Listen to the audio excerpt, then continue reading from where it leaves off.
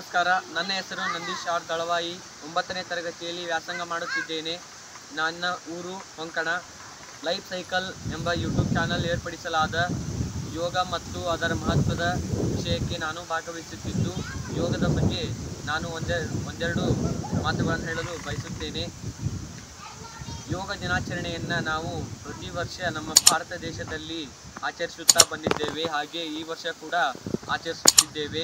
ಎಲ್ಲರಿಗೂ ಯೋಗ ದಿನಾಚರಣೆಯ ಶುಭಾಶಯಗಳನ್ನು ತಿಳಿಸುತ್ತಾ ನಾನು ಯೋಗದ ಬಗ್ಗೆ ತಮ್ಮೆಲ್ಲರಿಗೂ ಒಂದಷ್ಟು ಮಾಹಿತಿಯನ್ನು ನೀಡುತ್ತೇನೆ. ಯೋಗ ಎಂದರೆ ಕೂಡು ಎಂಬರ್ಥ.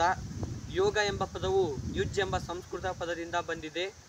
ಈ ಯೋಗವನ್ನು ನಾವು ಪ್ರತಿನಿತ್ಯ ಬೆಳಗ್ಗೆ ಅಥವಾ ಸಾಯಂಕಾಲ ಹತ್ತು ನಿಮಿಷಗಳ ಕಾಲ ಮಾಡುವುದರಿಂದ ನಮಗೆ ವ್ಯಾಯಾಮವಾದಂತಾಗುತ್ತದೆ ಮತ್ತು ನಮ್ಮ ಆಯಸ್ಸು ಮತ್ತು ಉಸಿರಾಟದ ತೊಂದರೆ ಇದ್ದವರಿಗೆ ಉಸಿರಾಟದ ತೊಂದರೆ ಆರೋಗ್ಯವಾಗಿರಲು ಸಹಾಯಕವಾಗುತ್ತದೆ.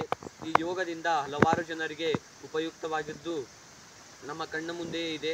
ಉದಾಹರಣೆಗೆ ಯುವರಾಜ್ ಸಿಂಗ್ ಎಂಬ ಪ್ರಸಿದ್ಧ ಕ್ರಿಕೆಟ್ ಆಟಗಾರನಿಗೆ ಕೆಲವು ವರ್ಷಗಳ ಹಿಂದೆ ಕ್ಯಾನ್ಸರ್ ರೋಗದಿಂದ ಬಳಲುತ್ತಿದ್ದಾಗ ಅವರಿಗೆ ಒಬ್ಬರು ಸಲಹೆ ನೀಡುತ್ತಾರೆ.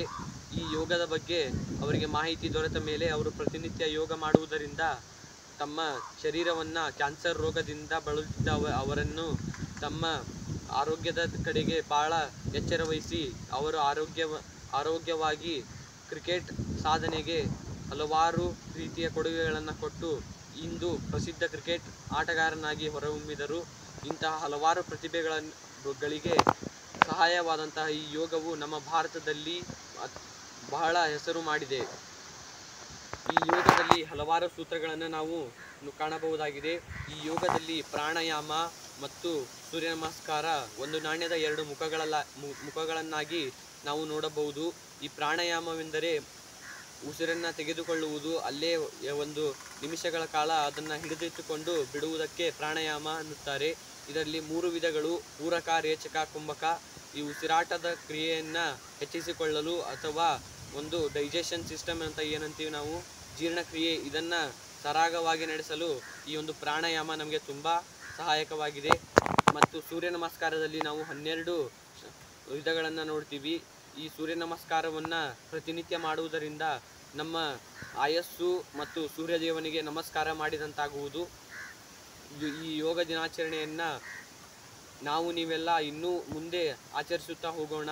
ಈ ಯೋಗ ಮತ್ತು ಪ್ರಾಣಾಯಾಮ, ಸೂರ್ಯ ನಮಸ್ಕಾರ, ಧ್ಯಾನ ಇಂಥವುಗಳನ್ನು ಮಾಡೋದರಿಂದ ನಮಗೆ ಏಕಾಗ್ರತೆ ಮತ್ತು ಆಯ- ಆಯಸ್ಸು ಐಶ್ವರ್ಯ ಇನ್ನೂ ಎಲ್ಲ ಹೆಚ್ಚಾಗುತ್ತದೆ. ನಮಗೆ ಆರೋಗ್ಯವಾಗಿರಲು ಈ ಯೋಗ ಪ್ರಾಣಾಯಾಮಗಳು ಸಹಾಯವಾಗಿವೆ ಎಂದು ಹೇಳುತ್ತಾ ನನ್ನ ಈ ಇಷ್ಟೊತ್ತು ಭಾಷಣ ಮಾಡಲು ಅವಕಾಶ ಮಾಡಿಕೊಂಡ ಯೋಗದ ಪಿತಾಮಹ ಎಂದು ನಾವು ಪತಂಜಲಿ ಮಹರ್ಷಿಯನ್ನು ಕರೆಯುತ್ತೇವೆ. ಈ ಯೋಗದಲ್ಲಿ ಹಲವಾರು ವಿಧಗಳನ್ನು ನಾವು ಕಾಣಬಹುದಾಗಿದೆ.